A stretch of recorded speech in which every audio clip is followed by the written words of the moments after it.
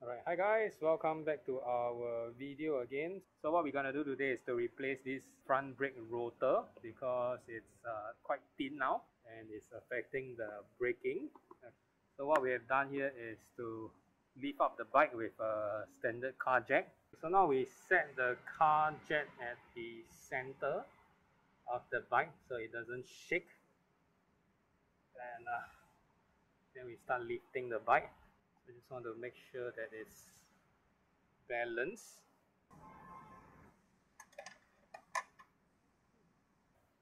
So the front end is free from anchoring onto the ground and then we can remove this front wheel. First off we have to remove the front wheel. Okay and then we now take up this axle bolt okay we realize that we have to remove the mud guard to make space for the wheel to come out. Okay so now everything is free. The spacer is out. So what's left here is this brake pad. Is clamped onto the disc brake because it's out of shape. So we have to pry open this. Okay so before you do that just make sure that you open this up so if there is any back pressure coming up at least it don't bust off this cap. Pry the disc brake open. Okay the last bit okay is finally out. So now what we need to do is just to loosen this fork bolt. Ah, okay all done. So this is the one that we just took out okay so this is the new one. So what we can see here is that it stated the minimum thickness should be 3 mm however this is close to 2 mm okay which is very bad. Uh, this is the thick part which is 3.5 you can clearly see that this outer ring here is thicker than the inner one because of uh, wear off okay this is the new one which is the outer layer and the inner layer are basically aligned. And if we measure them it's 4 mm as you can see here. So we got to put this. We already took out the wheel so why not just take this opportunity to clean it? You don't get to access to this dip very often. Okay so now the moment of truth we will place this in and see if it fits the screw hole. It does. Nice and then we will just place the bolt in place first. Okay just want to be safe. We match the old one to check if the circumference or the diameter is the same. Okay it's the same. It looks good. And we clean up the screws.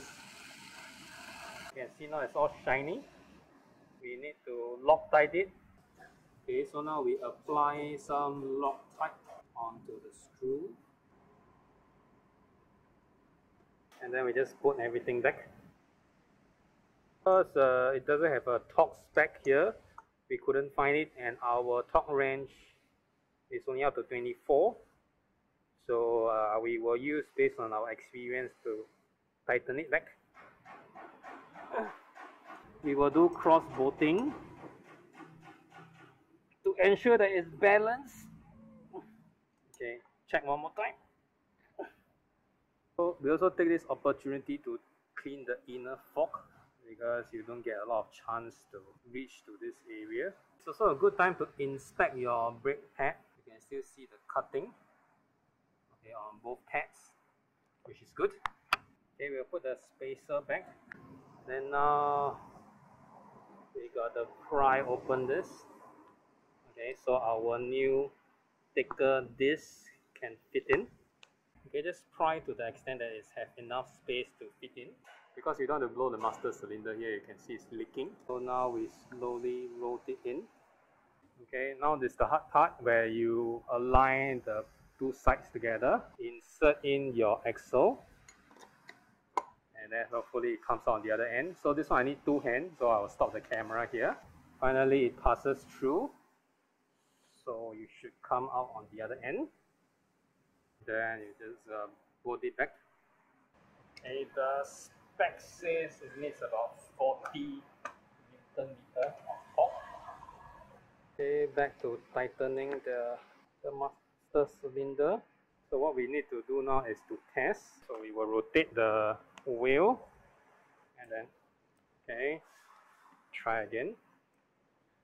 Okay, looks good. The last part is just to install back the front fender.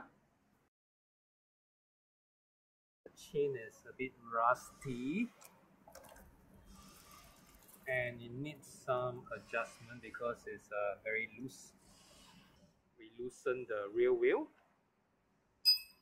Okay, then we will loosen this uh, adjuster. So what we do now is uh, we wash the chain. Then we try to clean out all the grime, the rust of the chain. Okay, so now it's on the one, two, three, fourth marking. Push it forward. So now we measure this.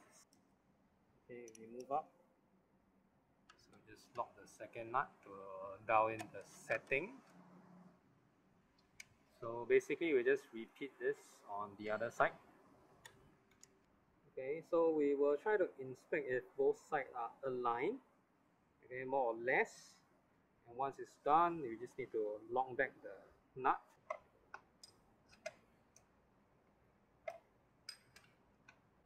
Okay just to be sure we spin and then try to see if the rotor is straight.